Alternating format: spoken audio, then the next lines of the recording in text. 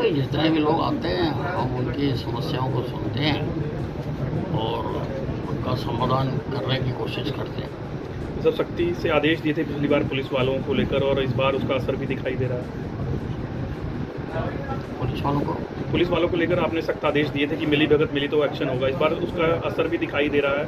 इस तरह की शिकायतें कमी आई है नहीं बिल्कुल किसी भी प्रकार से सारी पुलिस का काम है लॉ एंड ऑर्डर को को पूरी तरह से मेंटेन रखना।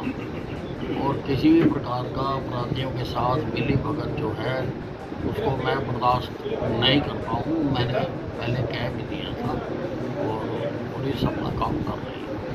सर रेप के मामले में लड़की के साथ जाति के मामले में एस पी को कॉल भी करना पड़ा है उसमें भी देखिए जो भी अब ये महिलाओं के खिलाफ अपराध हैं उनको प्राथमिकता के आधार पर सभी जो पुलिस कप्तान हैं और कमिश्नर्स हैं, उनको उसको, प्राथमिकता के आधार पर उनको सोल्व करना चाहिए।